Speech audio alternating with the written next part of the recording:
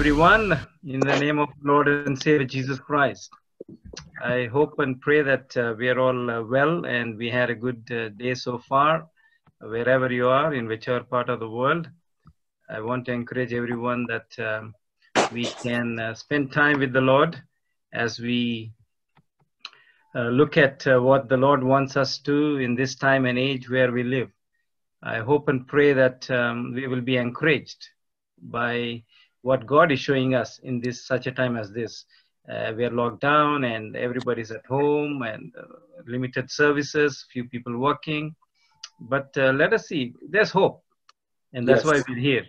There's hope. And then we can uh, understand what God wants us to uh, look at. So uh, we'll pray before uh, we look at God's word and what He has for us in store today. Okay, so let us pray. Let's bow our heads and our hearts and humble our hearts. Mighty God, merciful, kind, and loving Heavenly Father, we thank you for this blessed privilege you've given us where we could study your words and understand. Want to thank you for being with us this far and uh, uh, providing us with all our needs, wants, and our desires, and opening our hearts and our minds. I pray that your Spirit will be with us, cleanse us, every single one of us, especially me, as I stand up to uh, for you I pray, O Lord, that you would close all my thoughts. You would only say what you would uh, say through me. I pray that um, you would uh, forgive me and cleanse me, make me whole. That you would take Satan and out of uh, this place and his angels. That your Holy Spirit and holy angels will hover over in everyone who is watching and listening. That your grace may transcend to each one of us. This I pray, O Lord, in the worthy name of our Lord and Savior Jesus Christ. Amen. Okay, so if everybody mute, mute your mics and um, we're going to look at a PowerPoint so that uh, we can um, understand uh, and see what God wants us to uh, look at in this time and day and age as we live today. I believe we are living in the uh, last generation before Jesus coming, and therefore it's profound to understand how these things are going to pan out. So um, here at uh, prophecylive.org, uh, by the grace of God, launched last week. Learn from the past, the present, and the future. So as we go along, we're going to look at um, what's uh, uh, it has in store. So again, last week I uh, presented this in-reach and outreach resource. Uh, this uh, booklet as a PDF is on prophecylive.org. So if anybody wants to download it, share it with anybody for your own resources to share with everybody, it's for one and all, for every person on planet Earth today. It can go far and wide. If you want the literal printed version, you'll have to get in touch with us. But you have the electronic version on prophecylive.org. And if you continue on, then you're saying this whole series we're going to look at, starting from uh, last week and continuing on, is all based on the great controversy between God and Satan. And is primarily over worship that we need to understand. And who will you choose to worship? That's the key. And as we go along, that's what we're going to look at. And uh, not to forget, everything is in the through the sanctuary. God told to Moses, let them make me a sanctuary that I may dwell again and gave the full description. So everything is through the context of the sanctuary. And Psalm 77:13 again always says, uh, Thy way, Lord, is in the sanctuary. How great a God is our God. Okay, so we'll be looking at a lot of prophecy today and in the days to come. And even what we looked at last week. Last week we had just an overview. And in fact, the overview of that presentation also is on the, the presentation presented last week, also is on prophecylive.org in the form of PDF. So anybody wants it, you can uh, take it and use it to share it, talk to people, whatever be the case. And also the chart that was presented and explained is also there in the form of PDF on prophecylive.org with all the detailed explanation from the Bible uh, to tell what the events are and how they will occur as prophesied by the grace of God given to us today.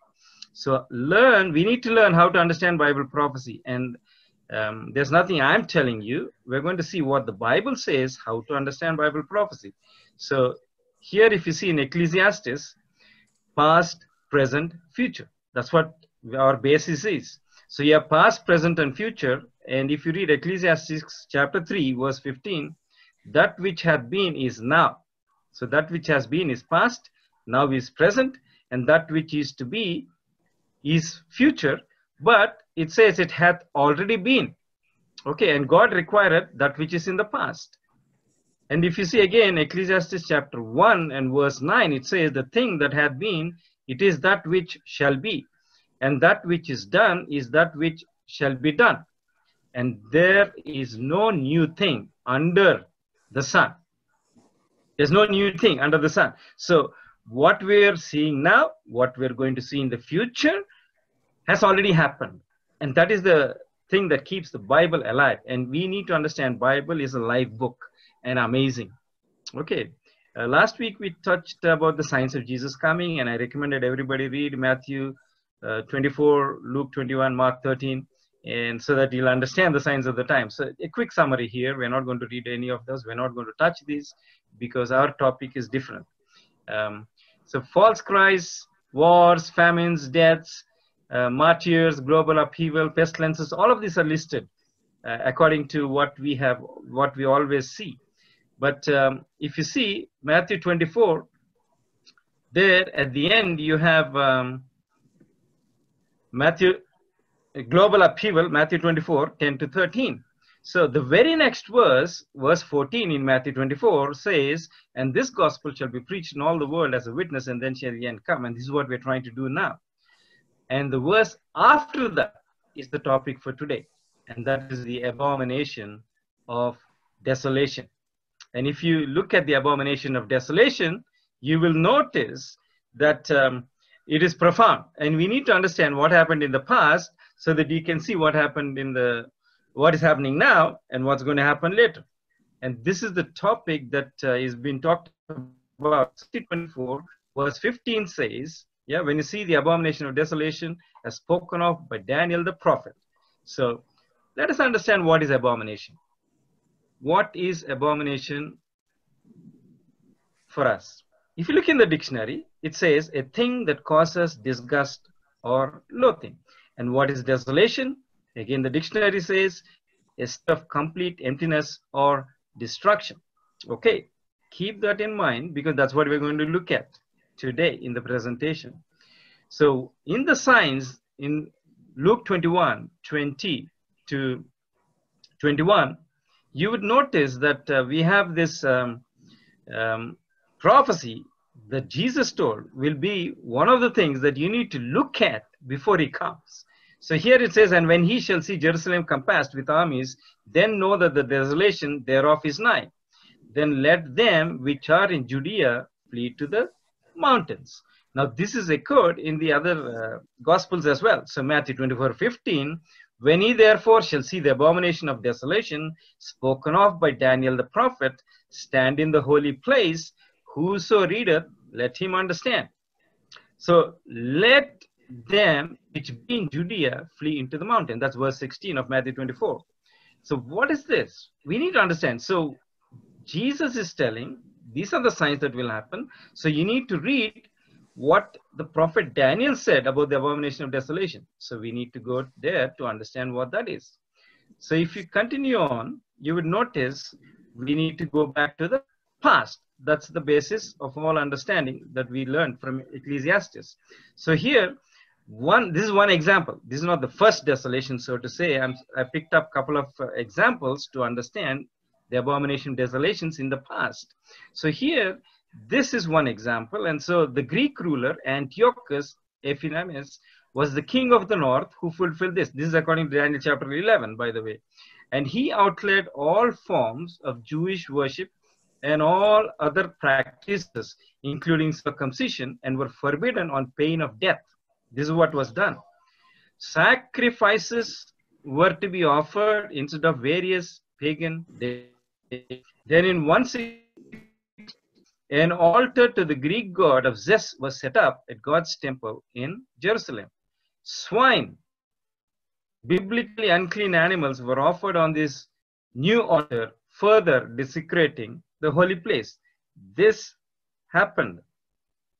And then you would notice that um, this is exactly what they did. They brought a swine and put it on the altar, and they did this in 167 BC, right on the temple, desecrating the temple, abomination of desolation.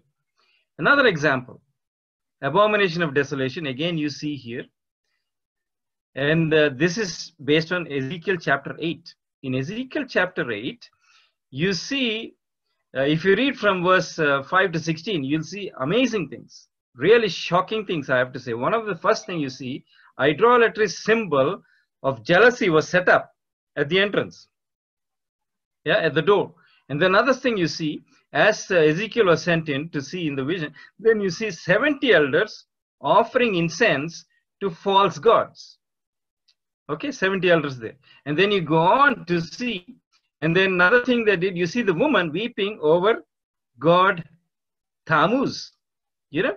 So Tammuz is the sun god. And then the next thing you see, he's shown that between the altar and the porch, 25 men facing their backs to the temple are facing the sun towards the east and worship the sun. Ezekiel 8 if you read uh, 5 to 16 abomination of desolation in the past. Why jerusalem was destroyed? Time time and again it happened. So very very next chapter talking about ezekiel chapter 9 1 to 6 if you read the whole um, verse verses you will notice that god said to six people to take up their slaughter weapons. And one person who was clothed with uh, linen to take an. He had inkhorn on his side to go and put a seal on those who mark actually on those who sigh and cry. Put a mark on their foreheads, those who sigh and cry of the abominations that are happening in the ways. And then he says to the six people to go and slay utterly old and young, both maids, children, women, but come not near any man upon whom is the mark, and begin at my sanctuary. Remember, it's all sanctuary. Then they began at the ancient of men, which were before the house. Who are the ancient of men? This means the leaders, the elders of today. Another example, just to quote about uh, the various abominations that took place through the generations of Egypt. So, but the house of Israel rebelled against me in the wilderness. They walked not in my statutes, and they despised my judgments, which if a man do, he shall even live in them. And my Sabbaths they greatly polluted. Then I said, I would pour out my fury upon them in the wilderness to consume them. Ezekiel 2013. So more abomination continued. But what about today? What's happening today? What is happening today?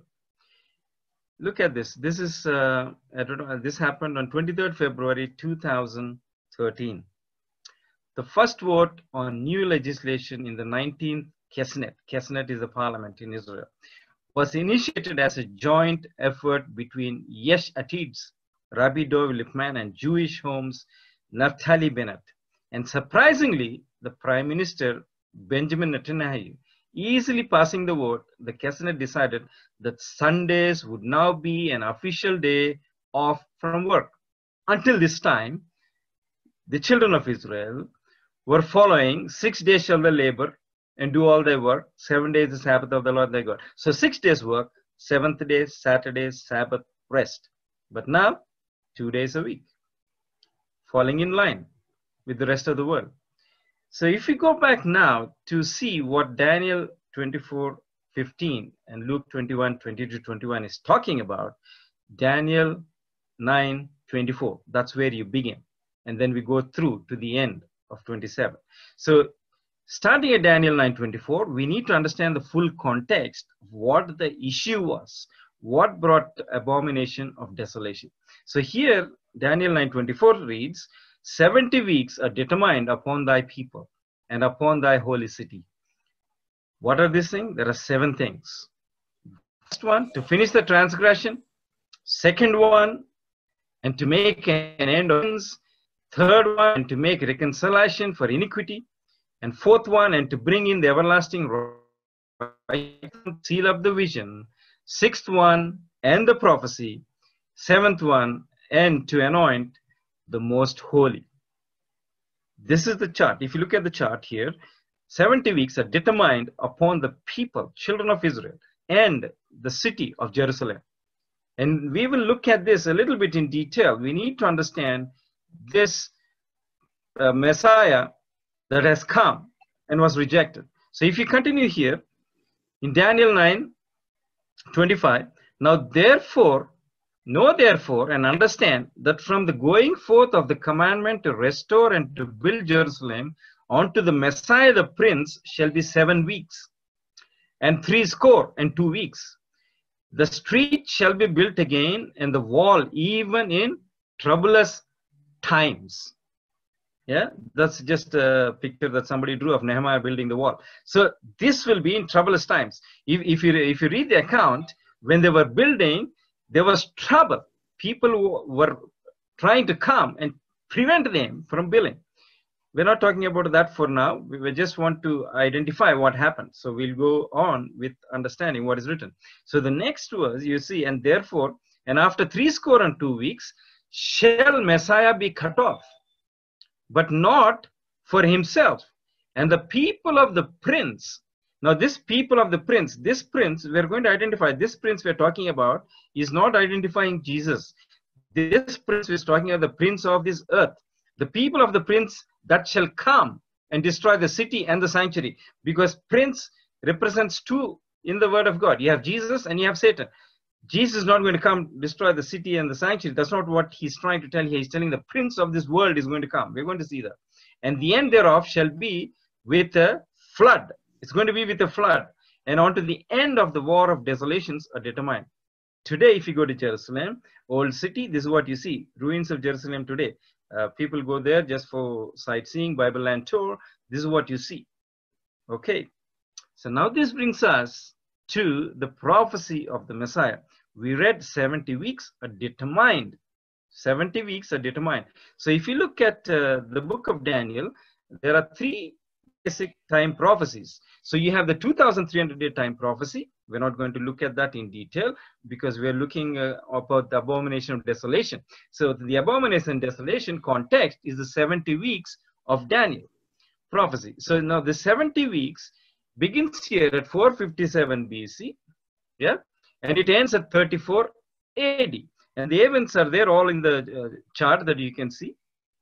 The to rebuild found in Ezra 7, and then AD uh, 37, you see the baptism of Jesus. Sorry, AD 27, you see the baptism of Jesus. AD 31, that's when Jesus was crucified, ascended, and Pentecost. Everything happened in AD 31. And in AD 34, Stephen was torched, which brings the end of the 70 weeks. But look at this, because 70 weeks are determined for the Jews. And if you did not accept the Messiah, then you will not be a nation anymore. There's more context to look at it as we go along. And if you see there, that's when the gospel goes to the Gentiles. The book of Acts, if you look at the book of Acts, Acts chapter 1 to 7, apostles are appealing to their fellow Jewish countrymen. Acts 8 onwards, now the gospel is gone outward towards the Gentile world. Because as a nation, the uh, children of Israel rejected the Messiah as prophesied. Let's look at this a little bit. So in the next picture, you would see here, uh, these are the first, these are the decrees that were going out to rebuild Jerusalem. The first decree, according to Ezra chapter 1, you would see Cyrus gave this first decree, second decree was given by Darius, in according to Ezra chapter 6, and then according to Ezra chapter 7, that's what the third decree. And that's when um, the rebuilding of Jerusalem actually took place. Of course, uh, in 537, you would see um, Zerubbabel went, and then uh, Ezra went, and then following after this 457, you see Nehemiah going too. So seven weeks, the wall was built, Jerusalem streets were built, and everything else. They finished in 408. If you look at history, you will see that. And then Daniel 9:26 comes here. Three score and two weeks are determined. Now that they will uh, reconcile and understand who the Messiah is and is going to come and all of that. Because um, when Jesus came on the scene, um, nobody thought that he is the Messiah born among the Jewish nation, the children of Israel. And then in AD 27, you see, he was baptized. AD 31, he was the, the covenant of the week is confirmed as you find in Daniel uh, 9:27 and 26 coming to pass here. And we won't read the list at the bottom because we already read that in Daniel 9:26. So if you continue on, this prophecy of the Messiah was given to them.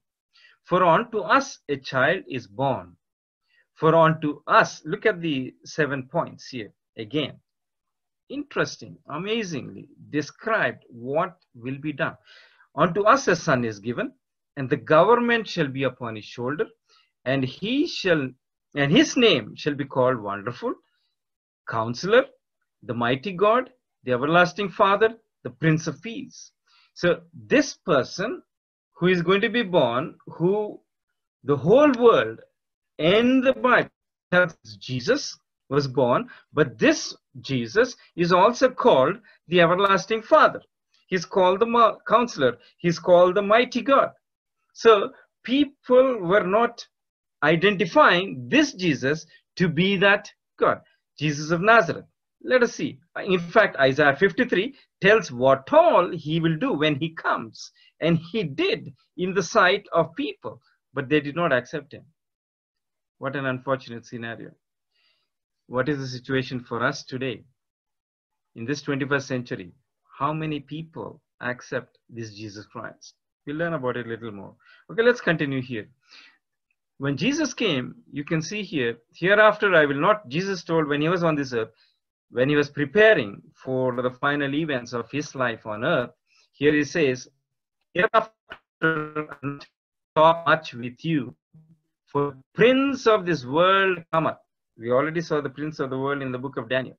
Okay, the prince of the world and hath nothing in me. John 30.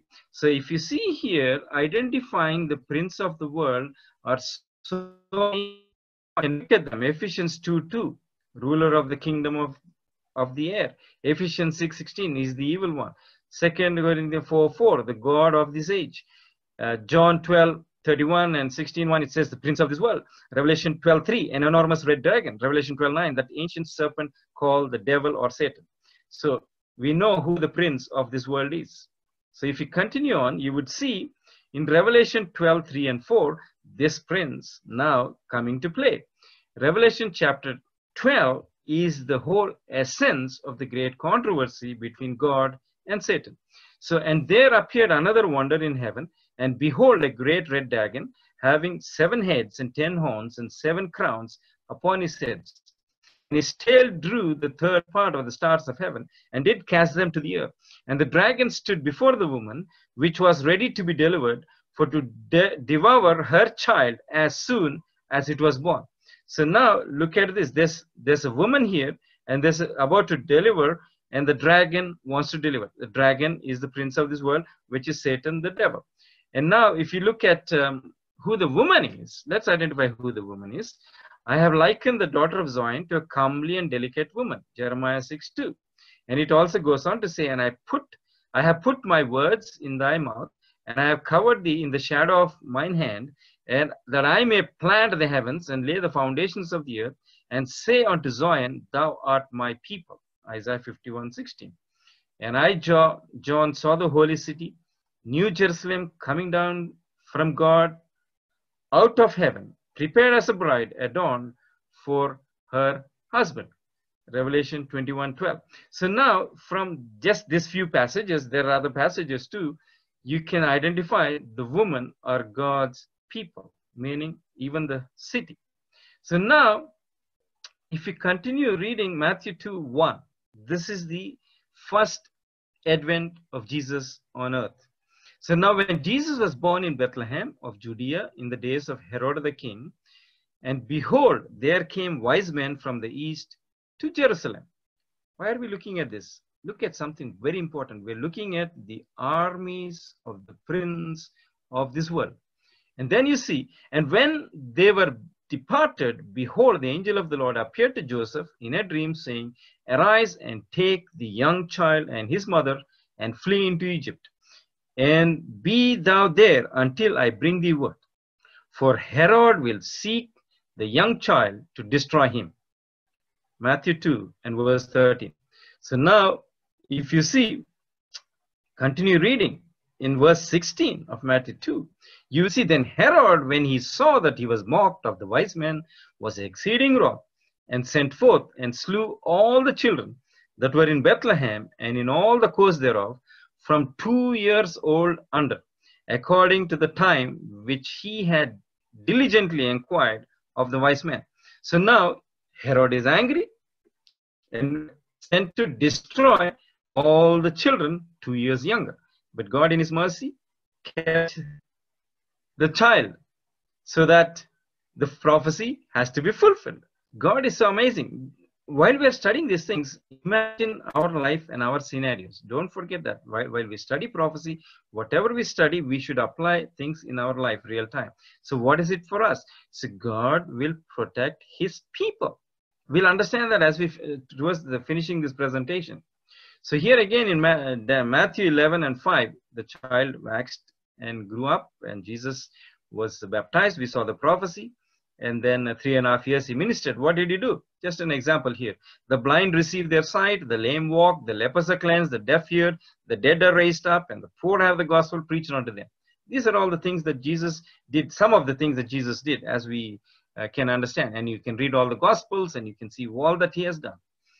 Now let's go back again and just touch a little bit. Daniel 9:24. 70 weeks are determined upon thy people and upon the holy city. Seven things here to finish the transgression and to make an end of sins and to make reconciliation for iniquity and to bring in everlasting righteousness and to seal up the vision and to seal up the prophecy and to anoint the most holy. Okay, let us see here what happens next.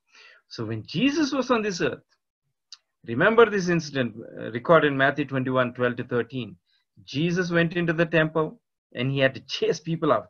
Let's read it. And Jesus went into the temple of God and cast out all them that sold and bought in the temple, and overthrew the tables of the money changers and the seats of them that sold doves, and said unto them, It is written, My house shall be called the house of prayer, but ye have made it a den of thieves. So abomination of desolation even abomination was happening there and therefore desolation is going to come. What is happening today in our scenarios in our lives individual lives in our homes as families in our churches and congregations? Is there abomination? What are we doing? We need to examine because desolation will come. And continue here matthew 27 verse 51 and when christ died on the cross. This is Jesus' crucifixion. He cried, It is finished. John 19, verse 30. And gave up his life on the cross. The priests were officiating in the temple at that particular point because they did not believe this Jesus. So they had nothing to do with him. In fact, they are the ones who crucified him. So they are busy going about their activities and their business. And uh, it was the hour of the evening sacrifice. They did it everything precisely on time and they were doing what they would do on a normal routine weekly basis. And that's what we are doing today as well. In our lives in written life we're doing things as normal thinking uh, all things are going to be okay. No i'm here to tell you it's not going to be okay. Things are going to change and we're going to look at a few things. So here it says when they were officiating in the temple it was the hour of the evening sacrifice and as the passover lamb representing christ was about to be slain the veil of the temple was rent in twain from the top to the bottom, and the earth did quake and the rocks rent. So the sacrificial system finished. So no more sacrifice. But still people sacrifice in the world today. In quite a few religions, you would see that too. This is the basis, the sacrificial system that God set up as remission of sins was a symbolic for the ultimate sacrifice that Jesus came and paid 2000 years ago. Since then, there should not be any sacrifice, but unfortunately, people do sacrifice even now out of ignorance. And it is important that people understand to tell those who know should tell those who don't know. Let's continue to read Matthew 23 37 to 38. It says, O Jerusalem, O Jerusalem. Now, Jesus is telling while he was teaching and preaching when he was on this earth, Thou that killest the prophets and stonest them which are sent unto thee. how often would I have gathered thy children together, even as a hen gathereth her children under her wings, and ye would not. Behold, your house is left desolate unto you. Okay. Now, Jesus said, You have killed the prophets that were sent to you. You can read the whole Old Testament record, you can see that. And thou hast stoned them which sent you unto you. Now, in AD 34, they stoned Stephen, who was proclaiming that he saw Jesus on the right hand of the throne of God and who has ascended to heaven. What amazing testimony he was giving. And people who saw Jesus, they knew he went to heaven. They tried to suppress it. They tried to hide it. They tried to suppress the testimonies by giving money and telling them to fall, tell falsely, but they did not recognize and identify. Therefore, as a nation, they were rejected. And it says here, to finish the verse, Behold, your house is left unto you desolate. Jesus prophesied it, he said it, he proclaimed it, and so it happened. So now, just to review again the 70 weeks prophecy, which is 490 years, 70 weeks are determined upon thy people, the nation, chosen nation of the children of Israel. Unfortunately, did not accept the one who came to save them and everybody else in the world. So here again, just to review, 457 it happened, 408 they finished rebuilding the temple. AD 27, Jesus is anointed and through the baptism and the Holy Spirit now comes and God speaks, all three present there. And then you see the week that goes by completely here. So uh, Jesus crucified, uh, then he died, buried, resurrected, and ascended. AD 31. And then AD 34, they stone Stephen. Gospel goes to the Gentiles. What is the situation? And that is why everybody else who's not a Jew by genealogy have this privilege. And that is why we are Jews. We are children, uh, descendants of Abraham, children of Israel today, spiritual children of Israel. Okay, let's go back here and quickly look uh, again about the prophecy. Luke 21, uh, 20 and 21a. And when Jesus, when and when he shall see Jerusalem compassed with armies, then know that desolation thereof is nigh. Then let them which are in Judea flee to the mountains. Now let's look at this. What happened after Jesus ascended? So we're looking at the time period now after the cross, after AD 34, after Jesus said, "Your house will be desolate unto you," talking about God's temple. Now let's look at um, this one. In AD 66, the Jews rebelled against Rome. Rome was still the emperor, controlling all the nations of that time there, and uh, including uh, the children of Israel. Uh, so here, the Roman general Cestius Gallus surrounded Jerusalem with the 12th legion. They pushed to the temple gates before retreating. And uh, the Jews destroyed this retreating 12th legion while they were retreating. They thought they were successful and well done, a job well done. But the Christians that were there, probably some of them were old enough to hear uh, um, Jesus speak, and maybe they heard from their parents that were there alive and Jesus was there. And the apostles preached about it and talked about it. And then Acts chapter 2 talks about this uh, destruction of Jerusalem coming through. And uh, they all fled. The Christians that were in Jerusalem fled. Because three and a half years later, somebody else comes. Titus comes. And there was no escape. Because you need to understand how they do this. They surround the whole city. The army surrounds the whole city. Nobody can go in, nobody can come out. We're going to learn this. So here you see Titus destroys, arrows shot at those escaping. Syrians forces met with the disarmed escapes looking for gold coins. Woman ate her own child. Mary, daughter of Eleazar from Bethzab, roasted and ate her infant son. One million Jews were crucified and 97,000 were captive. Now we need to understand what happens when a siege is done on a city. So the siege of the city began on 14th April 70 AD, three days before the beginning of the Passover that year. So this, so all people from across the land came into Jerusalem for the Passover. So majority were there inside Jerusalem. So the siege lasted for about four months.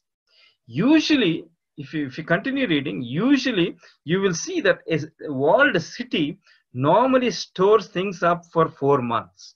So they have supplies to survive without going out and to get things to survive for four months. So here you see, it ended in August AD 70 and with the burning and destruction of the temple. So this is uh, an account just to keep in mind why things happen and how they happen. Okay, COVID-19, we are all locked down. I have to touch this a little bit because it is key.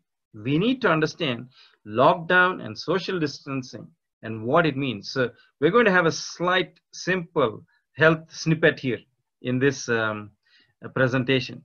So the health snippet is on April 16th, Dominic Raab told the UK that the measures would continue until May, the lockdown measures we're talking about. And top officials saying it could be up to six months before we're allowed out again. This has been said. In fact, if you read various news that's coming out, they're saying it can take up to two years, 18 months, 2021, and even longer. Anyway, that's not the point. The point is, look at this. What I recommend everybody, God's principles are eight laws of health. Nutrition, exercise, water, sunshine, temperance, air, rest, and trust in God. These are key. If you have these key, key principles, you know what you'll have? Good immunity. That is the key. Because what are they saying? What is COVID-19 is affecting? People who are weak immunity or immunocompromised or suppressed or whatever be the case are the ones who are affected and susceptible and are more possibly dying. So now look at this. Even the doctors out in the world are telling us this. This I got from www.webmd.com. So here there are six immune system busters and boosters. And what they list is you are short on sleep. Okay, now they're they're highlighting the principles that are described in the Word of God of on health. You are short on sleep, you don't exercise, your diet is off, you're always stressed. These are the terms they put on their website. You can go and check. You're always stressed, and the most important one, you're too isolated. Number six, not to forget, you've lost your sense of humor. Meaning, talking and communicating and having laughter is the best medicine, as they say in this uh, in this day and age. Number six, I want to touch that. You're too isolated. You know, immunity goes down when you're isolated. Immunity builds up when you're exposed to all kinds of things. That is how, how, how immunology works. So when you're locked down, more people's immunity is going to go down and more people will become susceptible to the virus. Can you see what is happening? Serious uh, implications. That is why we have to understand the gospel in its true presentation. God wants us to be in good health so that we can be good representatives of Him and show people of all the things. So I want to recommend to you, try and see how you can implement God's laws of health, eight laws of health. You can do these eight laws of health. If you do those things, you're locked down you're in your house. Don't worry. Try and follow all of these principles. Oh sunshine comes through your doors or windows or if you have a back garden you can go on there. If you have a balcony you can go on there keeping uh, don't break the law of the land. I'm not here to promote to break the law of the land. I'm here to promote god's principles. Exercise. Exercise in your home. You can exercise in your home. Let's continue. Okay. So the abomination of desolation in the past. This is what happened. In AD 70 they came and destroyed Let's look at another uh, statement here. Why Jesus told in Matthew 24 15, abomination as spoken of by Daniel the prophet, which stands in the holy place. Stands in the holy place. So now we need to understand exactly what that means and what God is revealing through the word of God. So now if you read Zechariah 8 3, and thus saith the Lord, I am returned unto Zion, and will dwell in the midst of Jerusalem, and Jerusalem shall be called a city of truth, and the mountain of the Lord of hosts, and the holy mountain. So, Jerusalem, by the way, you should know, is built on seven hills. So, seven mountains, so to say. So, the mountain itself, where Jerusalem is, is holy. That is the key. So, when you see this, you will understand. So, now if you go back to Daniel 9 and verse 26, after three score and two weeks shall the Messiah be cut off, but not for himself, but the people of the prince that shall come and shall destroy the city and the sanctuary, because the sanctuary was inside of the city, and the end thereof shall be with a flood, and on to the end of the war, desolations are determined. Meaning a flood is going to come. Flood, we is here again explained what flood is. In Psalms 18:4, you see the sorrows of death compass me, and the floods of ungodly men made me afraid. So flood also represents ungodly men. So ungodly men came and surrounded and pitched on the mountain around Jerusalem. So that is what is being spoken of here. So now this is just a picture to show you what happened uh, in the time AD 70. Now let's look at something very important. What is unholy?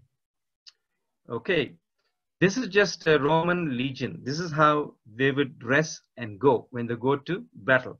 So when they surrounded Jerusalem, they would have been having something of this sort. So now if you notice, in front of the army, you have people who are bearing standards. Now these standards are dedicated to their gods.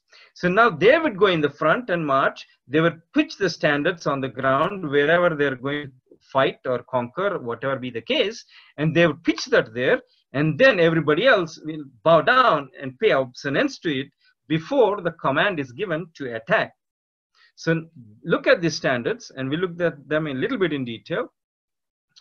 So here the Roman unit standards played an important role, both ceremonially and on the battlefield. Okay, remember, they have ceremonially and battlefield. So it's used for both. So the standards themselves varied greatly from the legions of eagle and imperial portrait image of various cohort signa like flags and even dragon windsocks. They were sacred symbols and holy to the men, to them. If the state got lost, they would get very upset and thought they would have bad luck in the battle. So that's why the standard was always there. And by the way, when, when the battle begins, the ones holding the standards would go to the back of the army and be there. They cannot leave. They have to be there. So they're there behind the army. So if anybody turns back, they see the standards, they know that God is with them and they continue to fight. That's how it works. So this is a Roman soldier kit. That's what they would have. So the standard is the one that has the flag and has its emblem. So now if you look today, even if you go to any Roman Empire's building that exists today, and you would see inscriptions like this. And this simply means SPQR is abbreviated on the standard. And this abbreviation can be found on any statutes. And you would see the military standards, it stands for Senatus Populusque Romanus, meaning the Senate and the people of Rome. So this is the Roman Empire's standard. And in the days gone by, this is what everybody used to have. But let us look. This is the past. We're now going to go into the time after the Roman Empire. Let's have a look. So this even exists now. Okay, after the Roman Empire taken over, after the Roman Empire fall, when did the Roman Empire fall?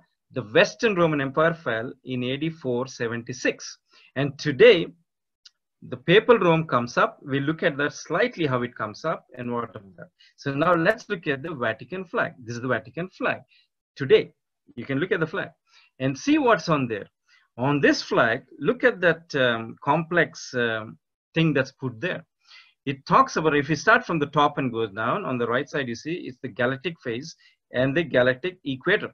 So there's the galactic equator means we're talking of the galaxy. We're talking of the universe. So the, they have reached above the earth. That's what it means. And if you uh, if you go onto the there's a crown there, and it's a triple crown. Can you see the triple crown? It says the third heaven, meaning they, their king over the heaven and the host of heaven and the earth and the lower regions of the earth, meaning Satan and the angels. That, that's what is being symbolized here. And then if you continue, you will see um, on the left, you see the key to the silver gate. Three portals through the gates. And then representing the crossing through the dimensions out of the other side. And then on the left side is the key to the golden gate. And they have three levels of the gate. Interesting. We'll not discuss too much there. Just want to show you what is being presented or represented here. Now this is a little bit slightly different. This is called Pope of Rome coat of arms. Pope of Rome coat of arms. And this is what the symbol is.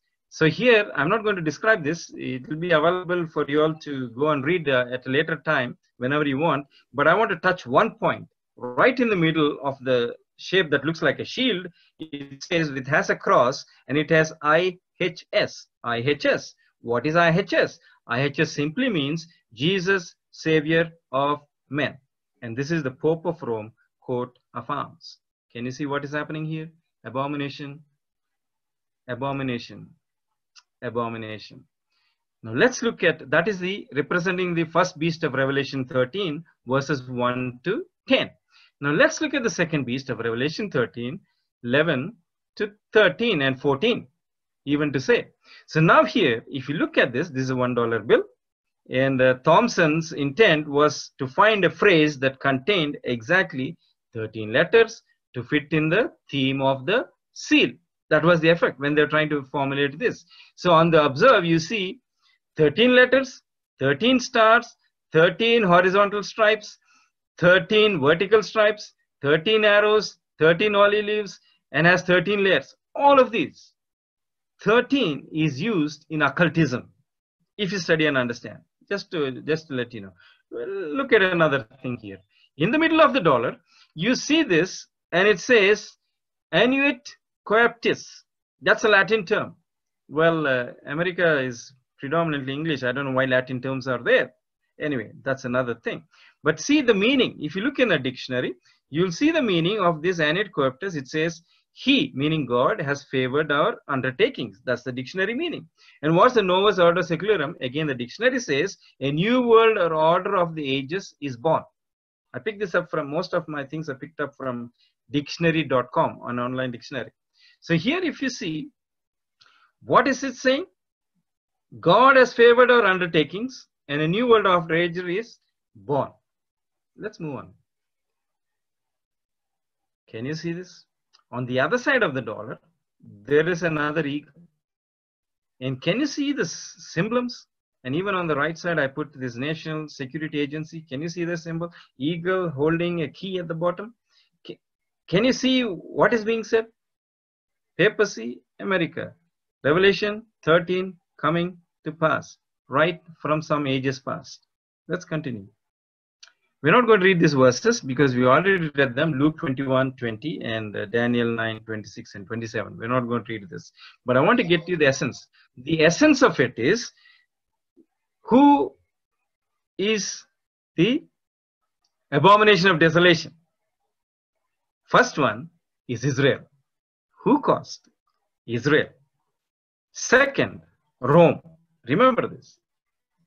So, in the abomination of desolation that were caused, there are two manifestations. Two manifestations spiritual and literal. Jews rejected the Messiah, the Holy One, and the literal one is Roman armies came and desecrated the holy place. This history is going to repeat itself. We already saw the makings of it in this presentation. This is going to repeat itself, and that is the key. So if you continue on, Daniel 11, verse 44. I want to say, I believe and understand that we are living in this time period as recorded in Daniel 11, verse 44. And it reads like this But tidings out of the east and out of the north shall trouble him who is this him? This is king of the north, which is papacy in that time period, according to Daniel chapter 11. If you read the preceding words, that's what you will identify that it is the papacy. So therefore, he shall go forth with great fury to destroy and to utterly to make away many. So, two things which are tidings out of the east and out of the north is going to trouble papacy. That's what it says. And he will go forth with great fury to destroy many. That is the essence of the verse. Now let's look at this. We need to understand how this is shaping up in the Word of God. So Isaiah 14, 13 to 14 will first touch the north. Okay. For thou hast said in thine heart, I will ascend into heaven. I will exalt my throne above the stars of God. I will sit also upon the mountain of the congregation in the sides of the north, and I will ascend above the heights of the clouds. I will be like the Most High. Okay. So, Lucifer then was to, uh, said, I want to sit where? Upon the mount of the congregation in the sides of the north. So, God and heaven is in the north of the earth in context. So now he was sitting in the north. So now the second coming of Jesus Christ is from the north. And you would see, because God is sitting in the north, this tidings is going to trouble papacy. And another one, if you read the Revelation 7 2 to 3, and I saw another angel ascending from the east. Now, this is the tidings from the east having the seal of the living God, and he cried with a loud voice to the four angels to whom it was given to hurt the earth and the sea, saying, Hurt not the earth, neither the sea, nor the trees, till we have sealed the servants of our God in their foreheads. So, the seal of the living God is the tidings of the east, which is going to trouble papacy. What is this tidings?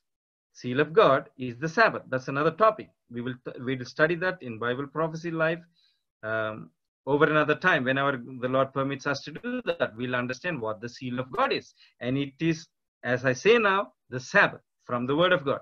We will study that another time. So the tidings from the east is the seal of God, Sabbath. Tidings from the north is the second coming of Jesus Christ. This, in effect, is the last message of love that I like to say is found in Revelation 14 6 to 12.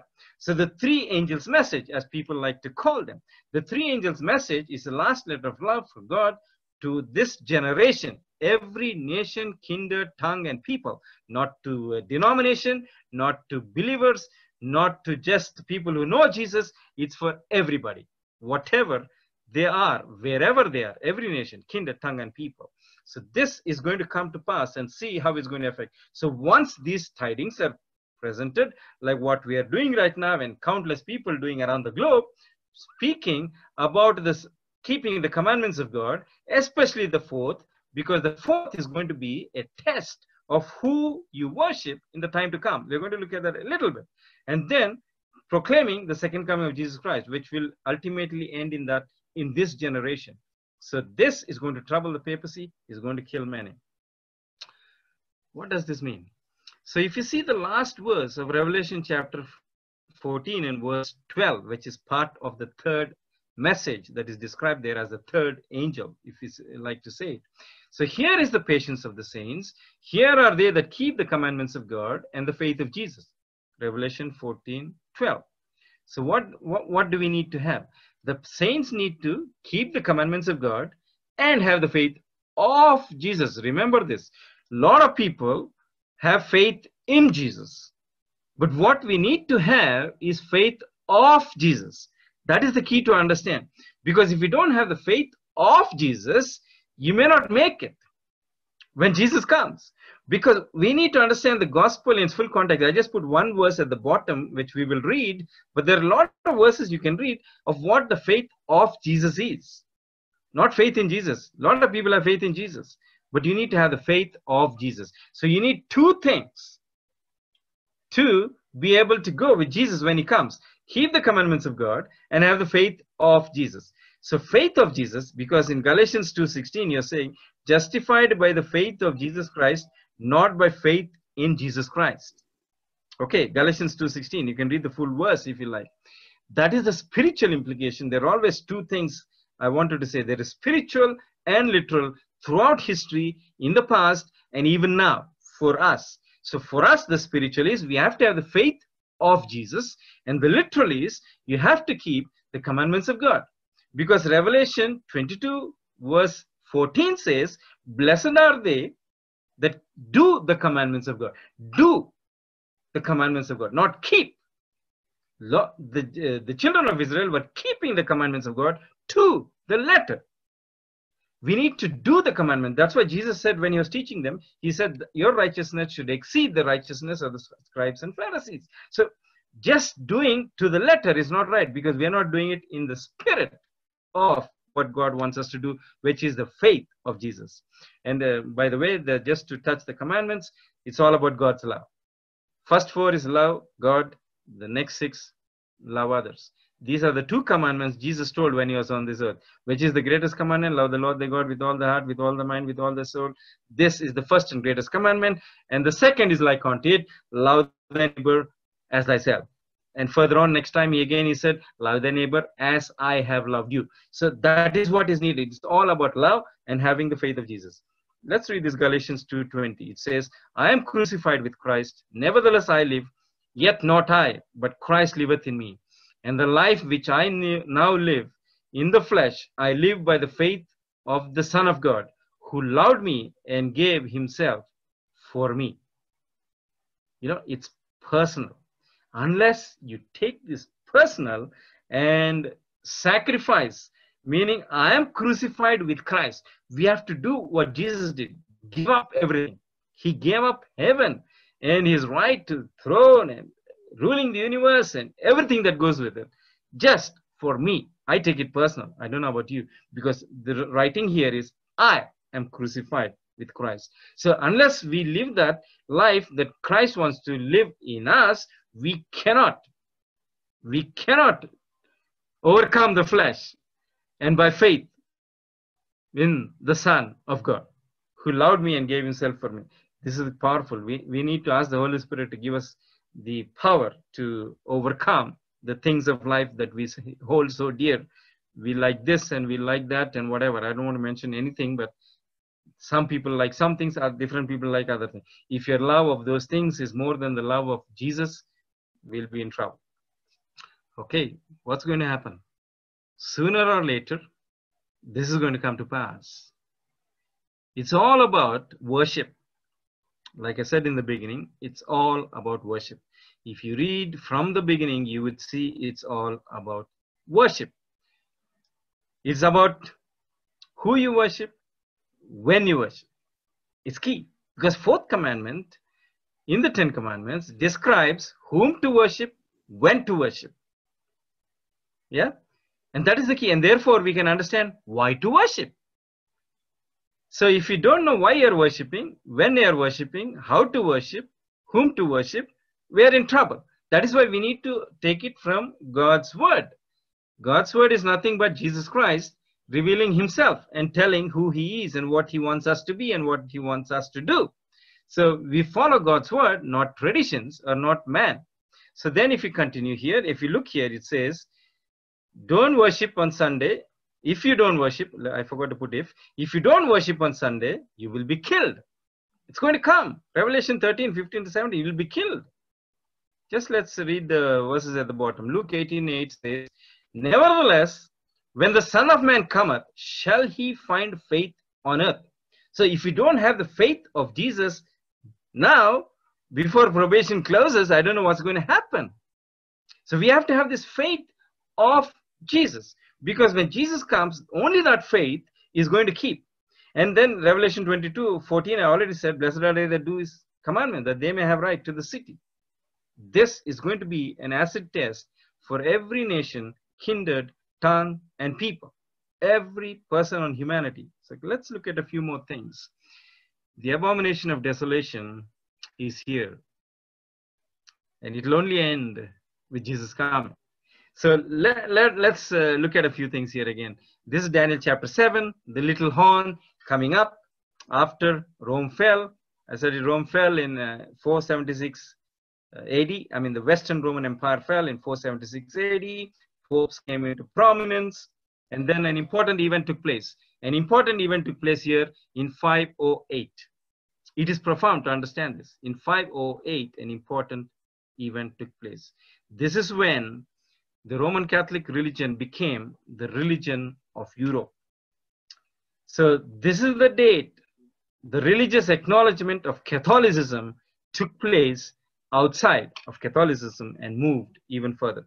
So this milestone is known as the setting up of the abomination of desolation in among some circles. You can read about this in Daniel 8:13, Daniel 11:31, Daniel 11, Daniel 12:11. All these texts are talking about these things. So what happened? Let us examine.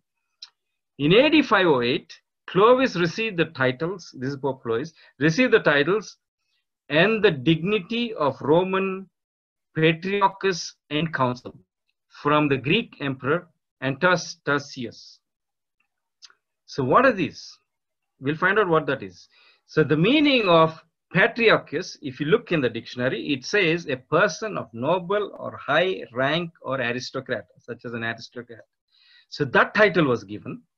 And then if you see another thing that happened, Clovis received at Tours the insignia of the consulship from the Eastern Emperor Anastasius. So the emperor not only gave him the title, he gave an insignia. And what is an insignia? It's a badge or distinguishing mark of office or honor. So now an office is given to papacy in Rome in 508. And this is how it continues. So now this is the establishment of the abomination of desolation, if you want to say that. And then if you continue, it goes on to say, the counterfeit priesthood was established in 508 throughout Europe. These are the things that happened since 508. And the Pope and the priest forgive sins, change the communion service to transubstantiation, remove the second commandment, shorten the fourth commandment, whom to worship, when to worship. And then another thing, another out of the countless things, just listed a few things here, by the way. Child baptism through sprinkling, controls entrance into heaven via purgatory and selling of indulgences, and set up Sunday worship and many other traditions, countless traditions. Let's continue to see a little more things that happen. So the little horn among the ten horns in 476 AD, when Western Roman Empire fell, now emerges and becomes a big horn and speaks like a dragon. So it happened since 508 and becoming a religio-political power in 538 one of the seven heads. It was an empire from 538 to 1798. Receives a deadly wound in 1798 when Pope was taken prisoner, sent by um, Napoleon from France, sent General Berthier, who came and took him, and Pope died in uh, captivity. Then the wound healing begins in 1929. Political power is restored. We will touch that a little bit, God willing. Resurfaces as a beast, not as a head. Thus we have the mark of the beast and not mark of the head. And all wondered after this beast. In Revelation 13.3 you see. That is today as it is happening. Major world leaders were at the funeral of Pope John Paul II. This is amazing. That is the, one of the fulfillment of the all world, all one, world wonders after the beast. No political leader, world leader has ever had such representation at a funeral in the past. No political world leader had such representation of all political world leaders attending the funeral of Pope John Paul II. Pope Francis now is Man of the Year, Nobel Prize nominee, and so many other things.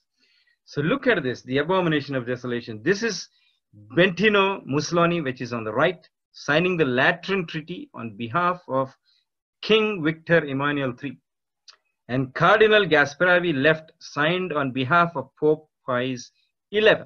This is what is happened in 1929. Revelation 13:3, and I saw one of his heads as it were wounded to death, and his deadly wound was healed. So the wound began healing on February 11, 1929, and it is still about to finish soon now in our day. Just a newspaper ad I put there to say that this is interesting to note that um, the Roman question was a thing of the past and the Vatican at peace with Italy. In affixing the autographs and the memorable document, the document, interestingly, is titled Healing the Wound. An extreme cordiality was displayed between both sides. What amazing. This is the beginning of uh, what is happening in Revelation 17. And if you see in Revelation 17, so he carried me away in the spirit and into the wilderness, and I saw a woman sit upon a scarlet colored beast, full of names of blasphemy, having seven heads and ten horns. So if you see here, Revelation 17:4 reads like this. Revelation 17:4 reads like this. And the woman was arrayed in purple and scarlet color, decked with gold and precious stones and pearls, having a golden cup in her hand, full of abominations and filthiness of her fornication. Now, today, if you look around, the bishops of Rome are dressed in purple, and the cardinals of Rome are dressed in scarlet. They are showing who they are and who they belong to and what they are doing today. Jesus, that's why he said, Let him that hath eyes, let him see, and let him that hath ears, let him hear. I don't know what the world is doing today. Revelation 17 comes into being with this Lateran treaty in 1929, and verse 5 says, And upon her head was a name written, Mystery Babylon, the Great, the mother of harlots and the abominations of this earth. So I'm not making things up by saying abomination of this earth is papacy. The Bible says it, Spirit of prophecy says it, a lot of people said it in history, even till today. So what is the process of abomination? Let's look at this process just to understand real time for us today. These are things happening today in the world. And that is why it is important to understand what the abomination is today so that we don't become desolate. So analyze the doctrines, transubstantiation, celibacy, call priest and pope father, the pope is another god on earth, sprinkling for baptism, Mariology, pray to saints, priest to forgive sins, Sunday as a day of worship. Sunday is the only one thing the entire world has accepted from the papacy, and that is unbiblical today. There are a few who are faithful. There are a few who are faithful. We'll learn about them shortly. Revelation 13:3, papacy is a head. Revelation 13:17, woman is on a beast. And this indicates that papacy, although back in power, she will not control nations as she did during 538 and 1798 AD. She has been demoted from an empire head to the status of a beast nation. Papacy will need an army to make war with the remnant of her seed. Revelation 12 17. Revelation 13 7 says, And it was given on to him. This Revelation 13 1 to 10 is referring to papacy. And it was given unto him to make war with the saints and to overcome them, meaning death is coming. Now we come to another time period where you see the first, uh, second beast coming. This is the picture of the description that you find in Revelation 13. And I beheld another beast coming out of the earth, and he had two horns like a lamb, and he spake as a dragon. And he exercised all the power of the first beast before him, and caused the earth and them which dwell therein to worship the first beast, whose deadly wound was healed. Revelation 13, 11 to 14. I want to quote from the Spirit of Prophecy written by Ellen G. White, taken from Testimonies for Church, Volume 6, 18.2. And it says, As America, the land of religious liberty, shall unite with the papacy in forcing the conscience and compelling men to honor the false Sabbath, the people of every country on the globe will be led to follow her example. Can you see what has been said? Another quote from Maranatha 178.4. The law for the observance of the first day of the week is the production of an apostate Christendom. Sunday is a child of the papacy, exalted by the Christian world above the sacred day of God's rest. In no case are God's people to pay it homage. These are statements.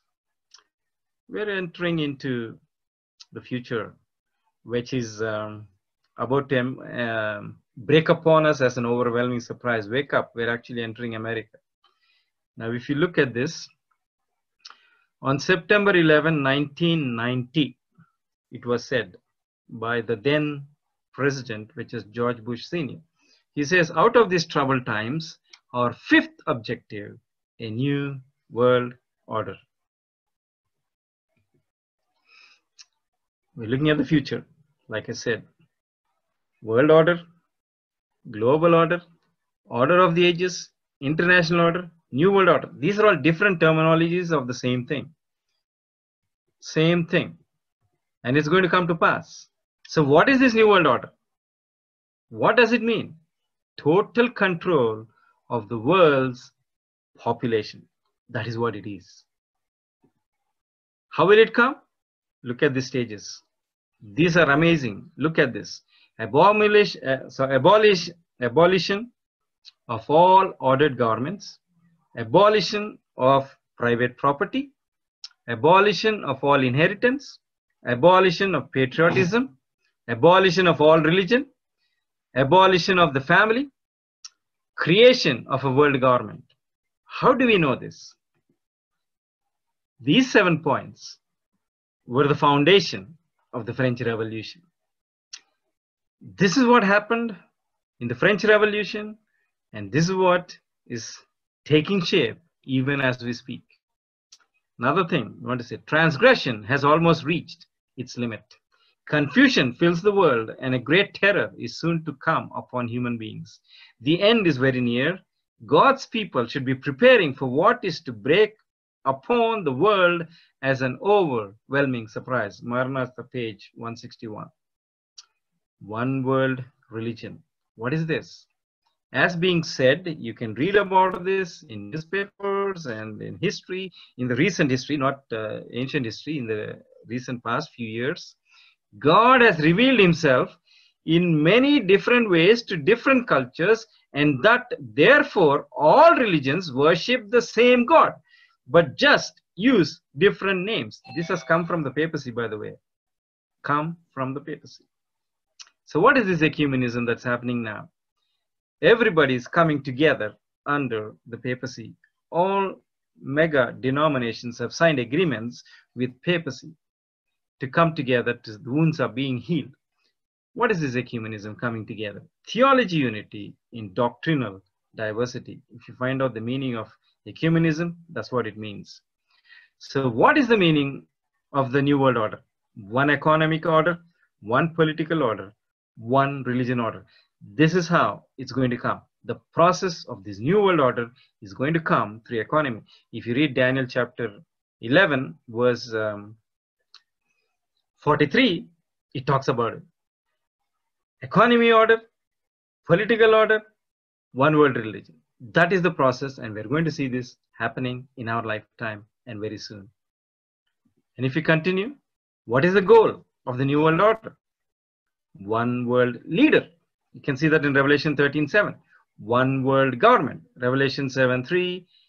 Sorry, Revelation 13 2 and uh, Daniel 7 verse 4 one world religion, Revelation 13, 8.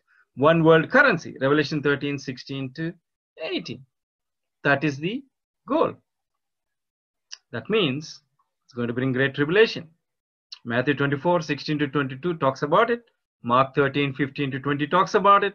Luke 21, 21 to 24 talks about it. And the summary of that is listed here. This will be the time of the Great Tribulation. No other time like it before in the past. That's what is being told. Jesus gives the sign himself, and he himself tells what will happen.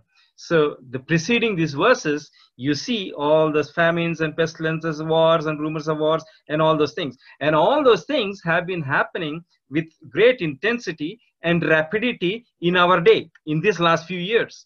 Now, what has happened next is this. So, here you see, don't try to save possessions. That's the admonition there.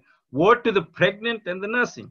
Pray not in, in the winter or on Sabbath, shortened for the sake of the elect. Don't believe here is Christ. False Christs and false prophets are going to come. It's amazing. Need to read this passage in Great Controversy, page. Uh, uh, everything is not put here. Pages 40, 443 to 445. If you have time, go read all those pages. I just put a little bit of snippets from here and there.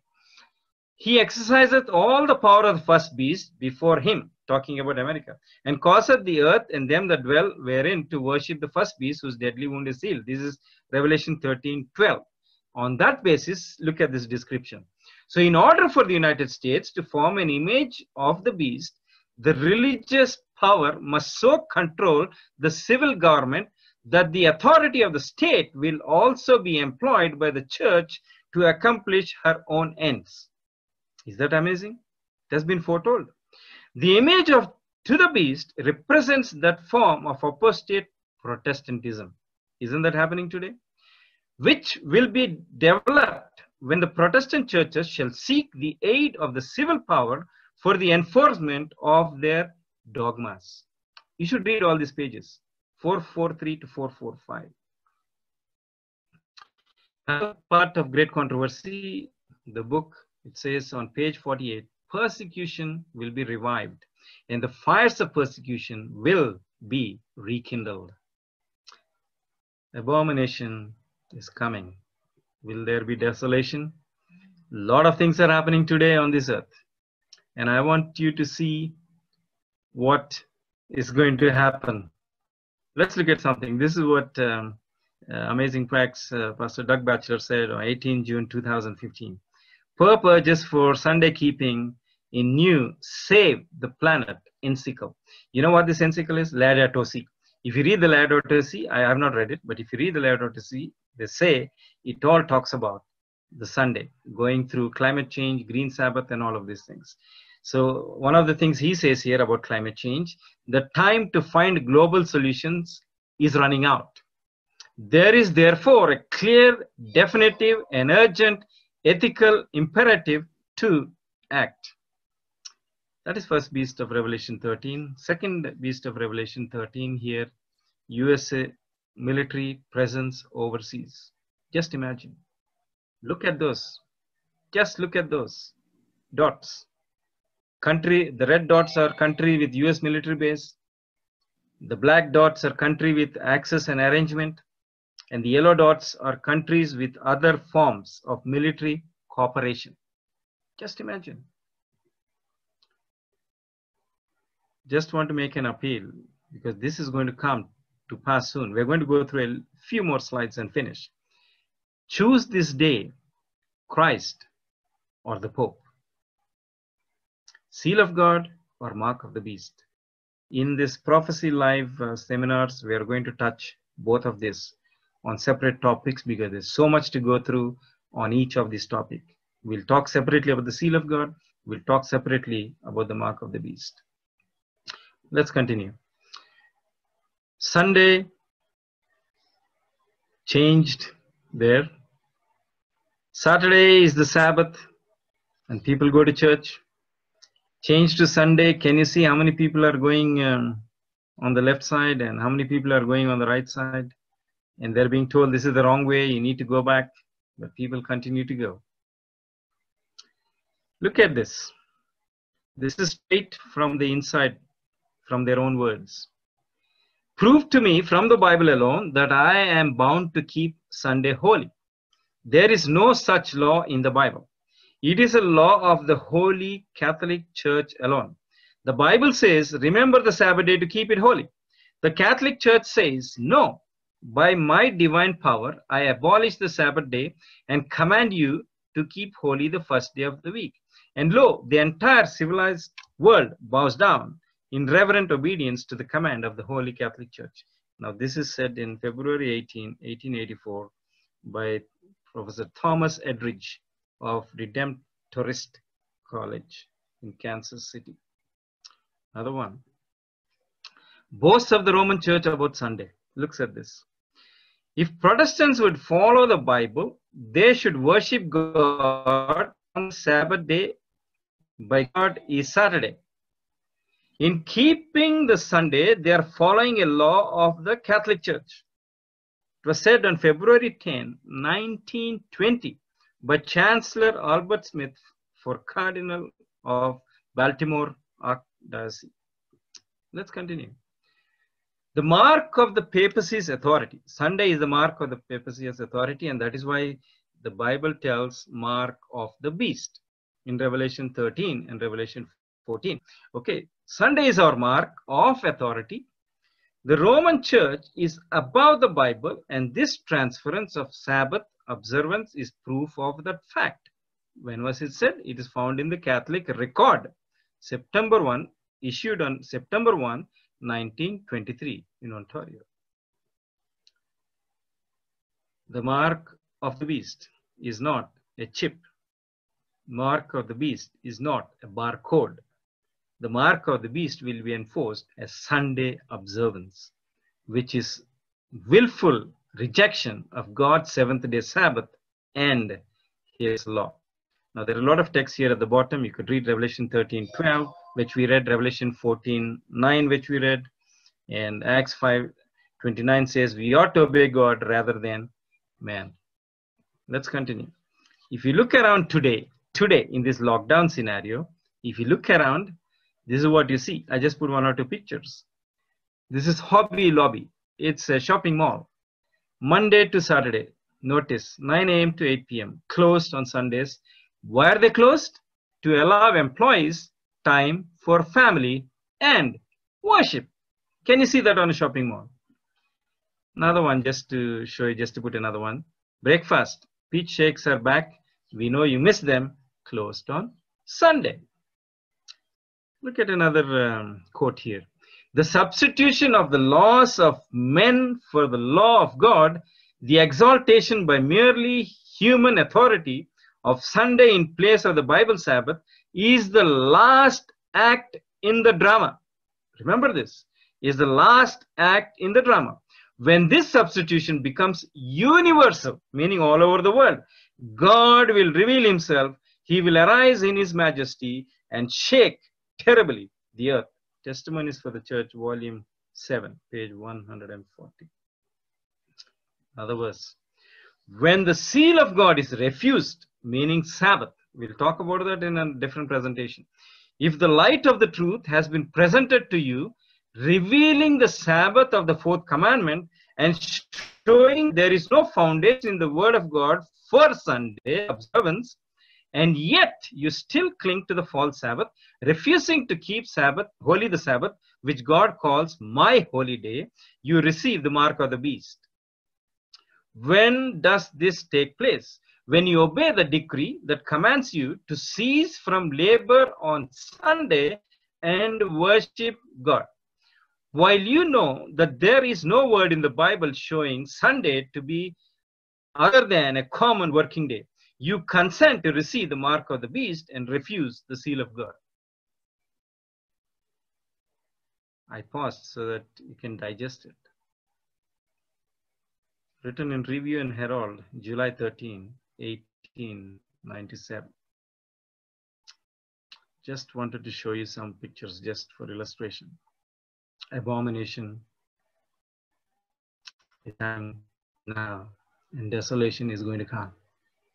In order for the United States to form an image of the beast, the religious powers must so control the civil government that the authority of the state will also be employed by the church to accomplish her own needs. Maranatha 169.2. Picture of Kenneth Copeland. Actually, this picture I clicked off uh, a YouTube where he's speaking. He says he has a direct line to deliver messages from God to President Trump. This is Kenneth Copeland. Let's read this. The image of the beast represents that form of apostate Protestantism, which will be developed when the Protestant churches shall seek the aid of the civil power for the enforcement of their dogmas. Maranatha 169.3. How to make an image? How do you make an image? As found in Revelation 13. It is Protestantism that is going to make the image in USA. It would have to be a Sunday law. The image would have to be exactly like the original. That's why it's an image. The same day of the week, the same, like the same day of the week, the same hours from midnight to midnight for religious purposes. That's what they're going to do. This all fits into the picture of Revelation 13 and reveals that the last conflict will be over the law of God. It's time for everybody to make a choice whom you want to follow. You want to follow God or the devil? Choosing this day whom you shall serve, it says. So, what is it today? We are finishing shortly. No more playing church for those who believe and go to church. 2000 years ago, Jews were looking for a lion and got a lamb. 2000 years later, Christians are looking for a lamb and will get a lion. So when the Messiah returns, he is no longer on a throne of mercy, but a throne of justice. I put this in here so that people can know where to go to. The Catholic Church admits seven day Adventists are keeping the true Sabbath of the Lord. Now, this is from the Catholic Universe Bulletin, August 14, 1942. The Catholic Church changed the observance of the Sabbath to Sunday by right of the divine infallible authority given to her by her founder, Jesus Christ. This is what they claim. The Protestant claiming the Bible to be the only guide of faith has no warrant for observing Sunday. In this matter, the Seventh day Adventist is the only consistent Protestant. This is what they are saying. I'm not saying it. This is what they are saying, straight from the papacy, telling who is right and who is wrong. We are closing. Matthew 24 44. Therefore, be ye also ready, for in such an hour as ye think not, the Son of Man cometh. God's amazing grace, page 242 says, Many are deceiving themselves by thinking that the character will be transformed at the coming of Christ, but there will be no conversion of heart at his appearing. Our defects of character must here be repented of, here, here now, before probation close. And through the grace of Christ, we must overcome them while probation shall last. This is the place for fitting up for the family above. So we have to do this now before our names are looked upon, the records are open, and judgment is passed on our case. We have to prepare ourselves now. Now, now, now. So therefore, I close with the sanctuary get into the ark because it's all going to be about the commandments of God everybody is going to be judged based on the commandments of God. And the commandments of God, all the things that are in the ark, the commandments, manna and Aaron's rod, everything represents Jesus Christ. Jesus is the perfect, sinless human who obeyed all of God's laws. And that is what we need to have. When we have the faith of Jesus, we will have the commandments in our life that we will follow and fulfill, which is love of God. So, what's our hope? Our hope is to accept the sacrifice of Jesus Christ, so that um, the sin will not be on him. See, on the left, you have a sin in him, but not on him, because he accepted the sacrifice of Jesus Christ. And the one on the right, sin on him and in him, because he rejected the sacrifice of Jesus Christ. There will be two groups. The Bible very clearly says who will accept Jesus and who don't. Jesus is coming soon. Are you ready? It is a choice that we need to make now. Now as never before because time is running out. Don't know when your probation and my probation is going to come to an end. Are you ready to meet Jesus? Are you ready to meet Jesus? I hope and pray that um, this presentation too will be available on prophecylive.org uh, later on during this week.